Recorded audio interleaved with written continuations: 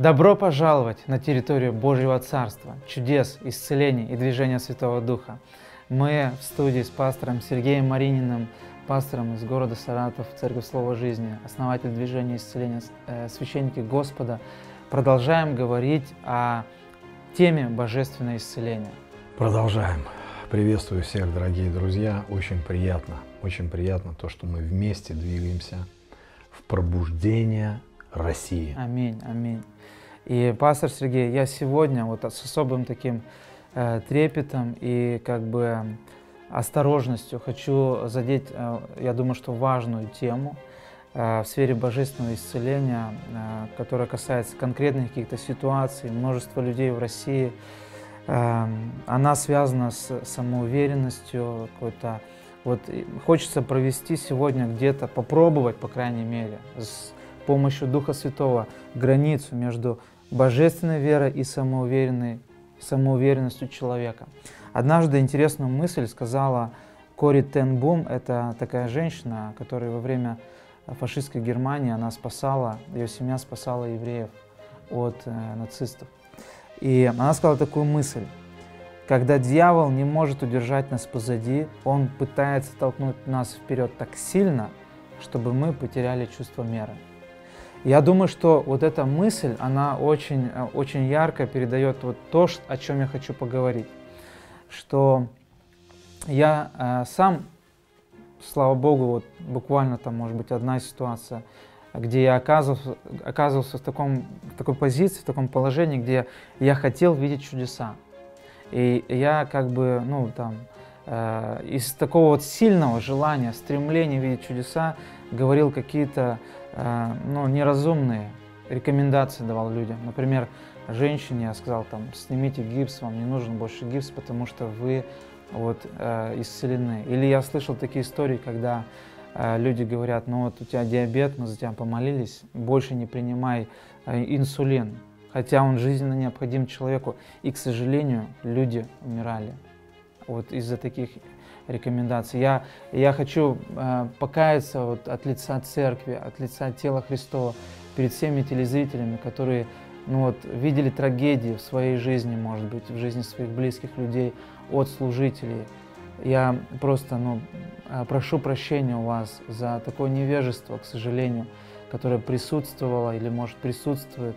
И, и мы хотим исправить эту ситуацию, потому что но есть мудрость, есть божественная любовь, которая больше, чем вера, есть забота о, о человеке, э, о, о чем нам нужно помнить, что нам не нужно вот настолько сильно, вот не то чтобы сильно, вот есть фанатичность, да, какая-то, какая-то, может быть, не знаю, от, от, от, от дьявола, которая может посеяться в жизнь человека.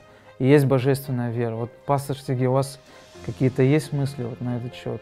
На самом деле страшное явление. И это, это реально религиозный дух и столько историй в церквях, тогда, когда люди гибнут, отказываясь там от какой-то медицинской помощи, от лекарств, э, говоря, просто умирая просто на устах со, с именем Иисуса. И я видел эти случаи, я сталкивался с ними.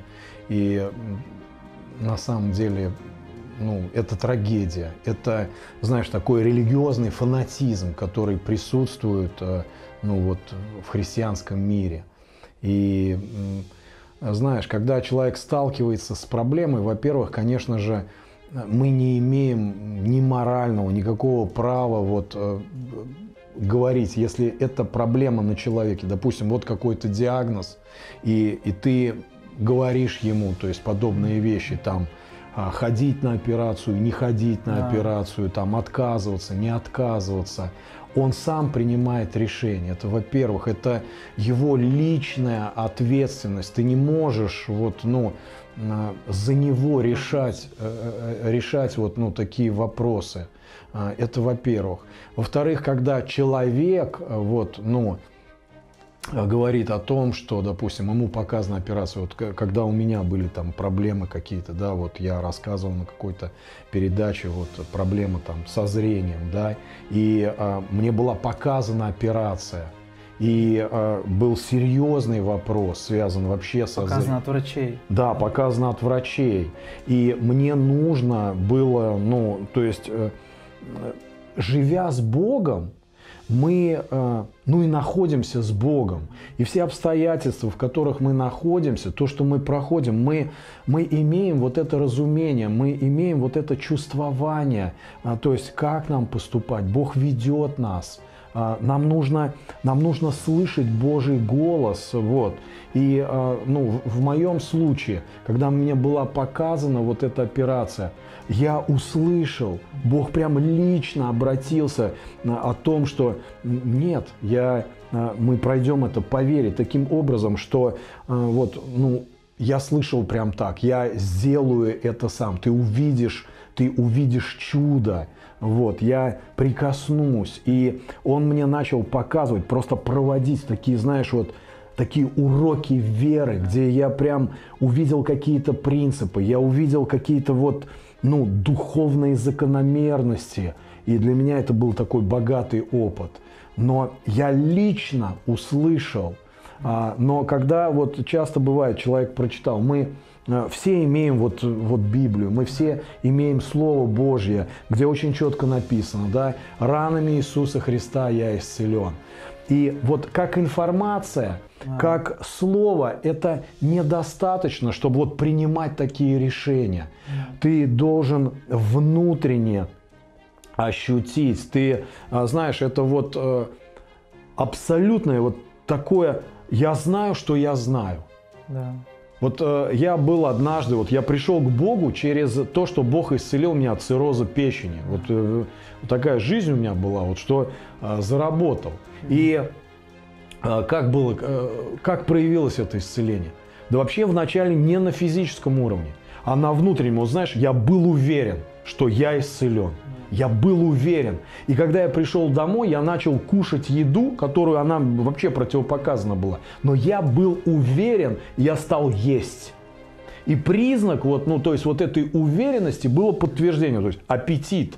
Я, я вообще месяцы, месяцами, я не помню, я, э, у меня было отвращение к еде, я ничего не ел, пища не переваривалась. Но вот этот аппетит, я набросился на эту еду, но когда человек просто вот через знание, что Бог хочет исцелить, и вот он говорит, я верю, это часто похоже на, ну, на знание. Ну, понимаешь, да. ты должен во всем этом услышать.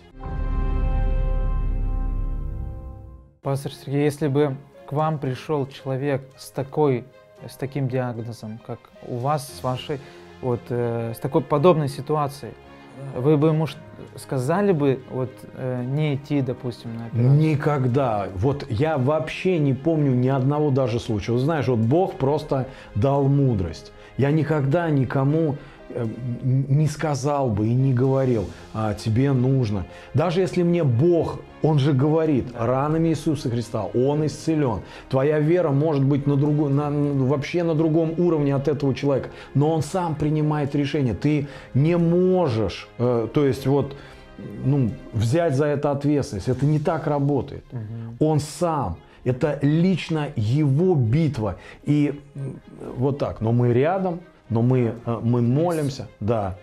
При этом мы с вами не отвергаем то, что Бог использует медицину. Может использовать медицину, врачей использовать. Да Бог все, что удобно, он, он и ослов использовал. Но э, мы должны стремиться к тому, что э, Бог исцеляет.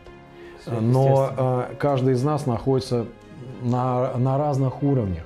И мы э, не можем, понимаешь, вот сказать, как мы чувствуем, как мы, мы стоим на слове, мы молимся за человека, но он принимает решение. То есть я понимаю так, что самоуверенная вера, она приходит через гордость. Потому что дьявол может, будет испытывать, и мне кажется, каждый, кто начал двигаться сверхъестественной жизнью, он будет испытан гордостью и самоуверенностью, чтобы начать действовать без Духа Святого, начать э, какие-то ну, какие-то говорить самоуверенные вещи людям. Вот, и нам здесь нужно смирение. И Божья мудрость. Да, смирение и, и мудрость. Мы приходим тогда к вопросу, как слышать Бога вот в таких ситуациях. Потому что э, ну вот люди сталкиваются с каким-то диагнозом, сталкиваются с какой-то вот болезнью близкого или своей.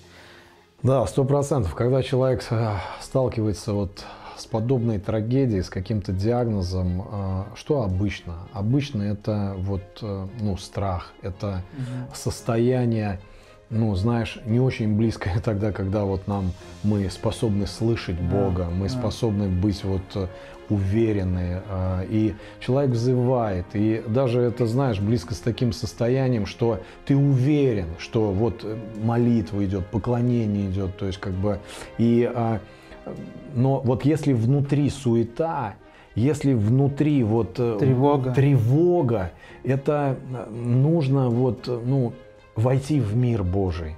Там его голос. Обычно даже, вот знаешь, есть выражение, Бог говорит тихо, он спокойно, потому что он есть, он в покое.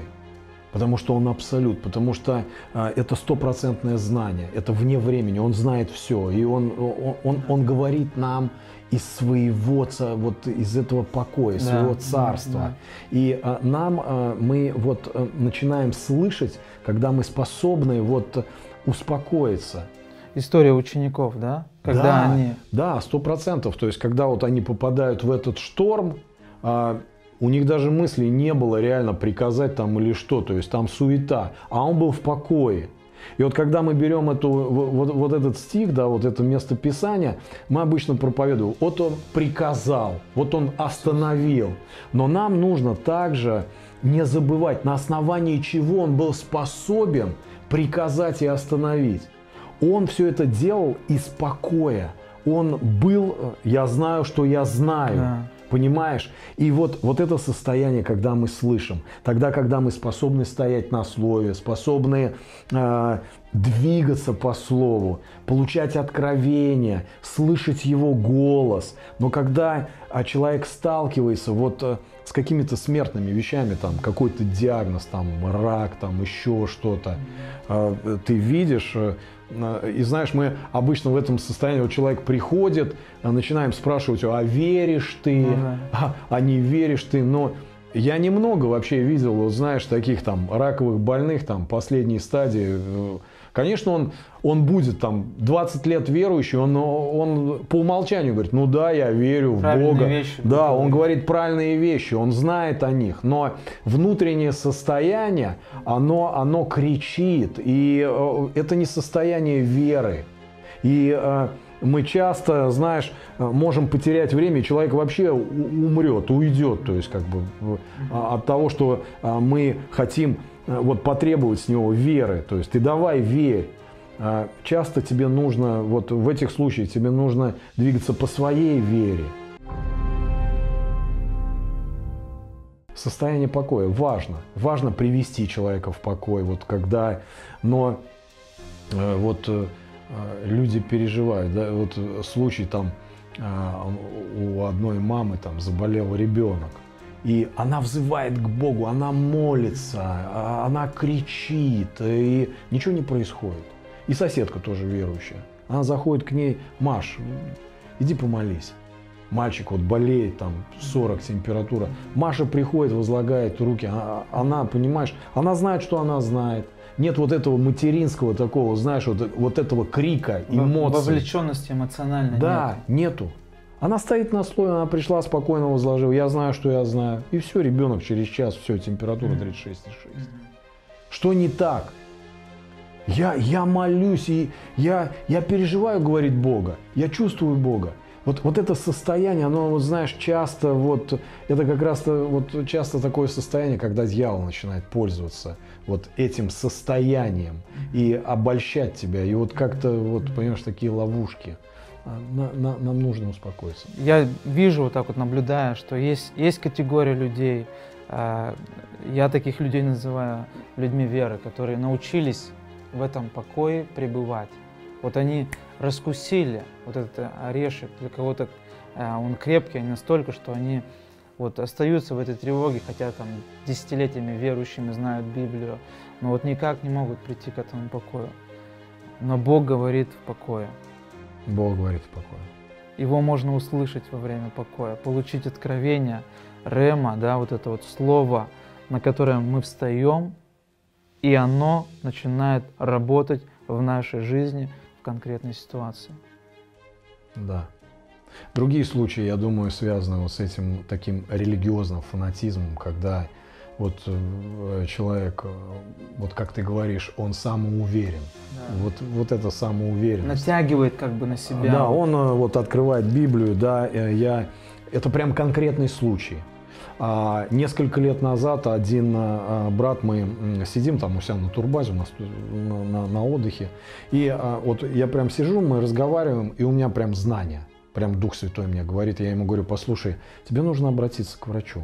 Я вижу вот, ну, про... и вообще для меня это даже было неожиданно, то есть иди к врачу вообще. И, и этот человек, то есть этот брат, он верующий тоже много лет, и он, он меня начал обличать.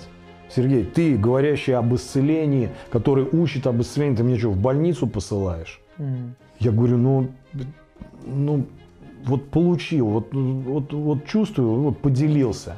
Вот. И он а, сигнорировал вот эти моменты. Через буквально несколько, лет, э, несколько дней его увозят на скорой, прям экстренно в больницу. И а, ему ставят диагноз, причем уже какая-то стадия там предпоследняя стадия рака, вот, и э, он в тяжелом состоянии, настолько, настолько вот все агрессивно, и э, я, мы начали ходить к нему, возлагать руки, я э, там э, общался э, с врачом, он говорит, вот, если бы вот чуть пораньше бы он обратился, мы могли бы здесь вот, э, да. и он еще какое-то время боролся, и вот, вот такие моменты, да, да. такие моменты. Дорогие, я думаю, что нам сложно, я думаю, что, да, пастор Сергей, вот какие-то дать конкретные, вот, там, вот в этой ситуации делайте так, в этой так, в этой так. Но э, нам нужно научиться божественному миру, водительству Духа Святого. Иногда людям, может быть, вот их вера на таком уровне, что им легче поверить, пойти вот, ну, вот, к врачу обратиться, пойти на операцию. И это будет в их ситуации, вот, учитывая их веру, культуру, в которой они выросли в сфере божественного исцеления, они, может быть, не могут преодолеть этот, вот эту тревогу, да, но они вот как бы э, максимум, на что сейчас способны, или вот выходом для них может быть, это обратиться к врачам и получить вот выздоровление через какое-то вмешательство там, хирургов или медицины. А, но если, конечно, мы понимаем, что идеальная картина, вот к чему мы идем с вами, да, с чем связано движение священников и вообще движение Духа Святого в России в сфере исцеления, чтобы мы все получали через сверхъестественное да, мы как церковь, мы ходим в божественном здоровье. Мы можем ходить в божественном здоровье. Мы можем, э, мы, мы должны стремиться к этим вещам. В тебе источник. А, а у тебя есть у тебя есть отношения да. с Богом. И а мне очень нравится вот э, как однажды Самрал сказал а, вот, о вере, вот, а, вера – это мое отношение к жизни. То есть это вот все эти обстоятельства, которые окружают меня, как ты, как ты будешь относиться к этому? Вот твое отношение. Вот мы же ко всему, что окружает, трагедия или еще что-то, реагируем. Мы, мы реагируем. И вот он говорит, вера – это моя жизнь. Это вот как я отношусь к этому. Вот на этом основании я способен тогда приказывать да. обстоятельствам. Да. То есть я знаю, кто да. я аминь, во Христе. Аминь, аминь. Дорогие, я уверен, что понимая божественный мир, понимая вот этот покой Божий, в который вводит нас переживание любви и сердце Небесного Отца, способно преодолевать, помочь нам преодолевать всякие бури в сфере финансов, в сфере э, исцеления, какого-то демонического давления. Мы желаем вам с пастором Сергеем жить в шаломе, божественном мире, который превыше всякого ума человеческого, в котором совершаются чудеса. Меня зовут Ольга, а, это моя младшая дочь Руслана, и мы хотели поделиться свидетельством божественного исцеления, того чуда, которое Господь совершил в нашей жизни – а, около двух лет назад а, у нас было заболевание глаз, которое называется холязия.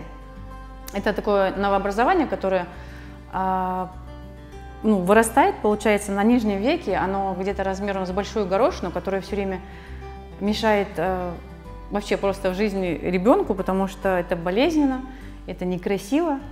И самое ужасное, что это влияет на зрение. То есть это э, заболевание распространяется на оба глаза, если его не лечить. И когда уже было все критично, мы поехали на операцию, и под общим наркозом все это благополучно удалили.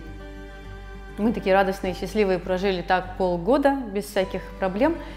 И получилось, что через полгода заболевание возвращается, и опять на глазу а, новообразование. Но в сердце своем я верила, что так как мы с Богом, мы уже давно за все за, э, заплачено на кресте, то есть Господь забрал наши болезни, наши какие-то переживания, и верила, что, что все будет хорошо. И мы не ехали на операцию. И как-то однажды на домашней группе э, мы решили помолиться за это. Мы просто взяли елей, помазали э, вот эту вот болячку под глазом, и просто произошло чудо, что через 2-3 недели она просто засохла и а, отвалилась. И до сих пор у нас все хорошо со зрением, и это заболевание больше не возвращается, не беспокоит нас.